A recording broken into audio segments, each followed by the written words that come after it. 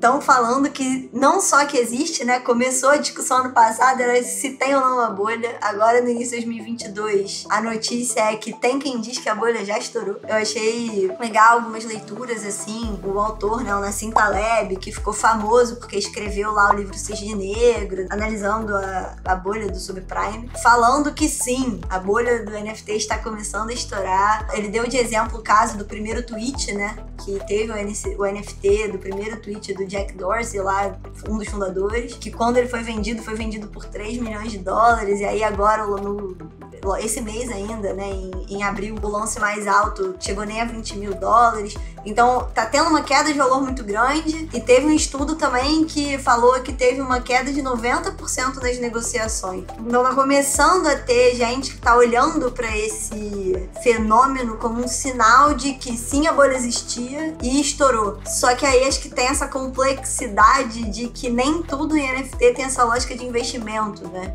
Então é um negócio muito difícil de de ser tão taxativo, né? Mas tem especialista aí duvidando um pouco de que esse fenômeno, esse crescimento tão grande, tão foi o destaque de 2021, tem gente duvidando que vai continuar.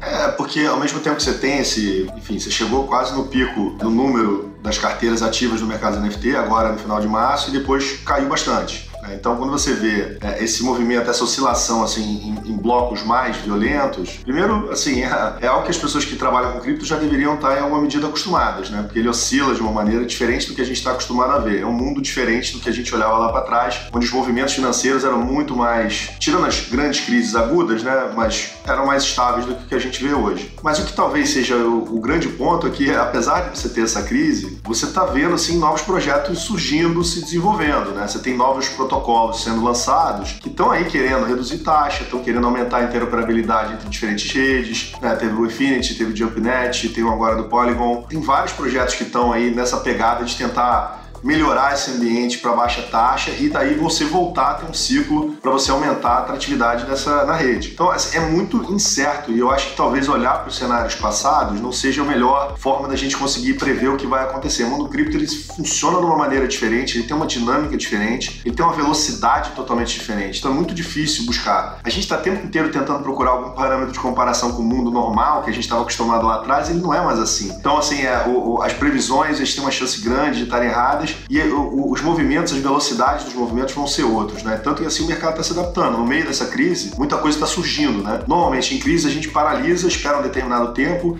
identifica as tendências e a partir desse novo movimento é aí que as coisas surgem. No cripto não. No meio da crise, ou no meio da suposta crise, você já vê os movimentos de mudança, as transições né, e o que provavelmente vai ser o mercado no curtíssimo prazo. É um cenário diferente para a gente avaliar, por isso é tão difícil você regular esse negócio.